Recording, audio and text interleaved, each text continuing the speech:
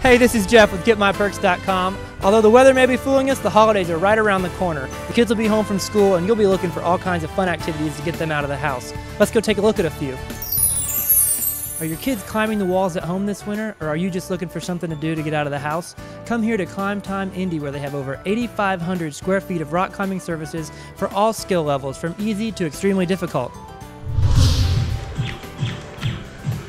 For fun for the entire family this Christmas vacation, bring everyone out to X-site Laser Tag right here in Castleton, behind the Castleton Square Mall off 86th Street.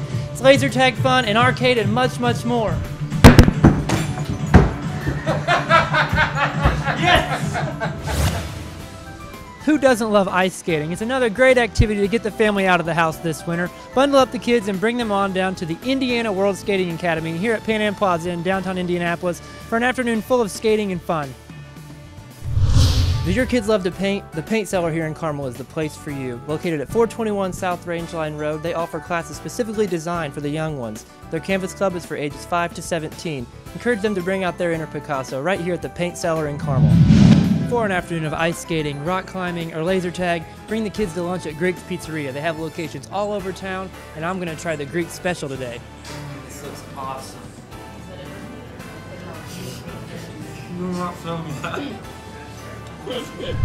So what are you waiting for? Take advantage of these great deals before it's too late. Happy holidays!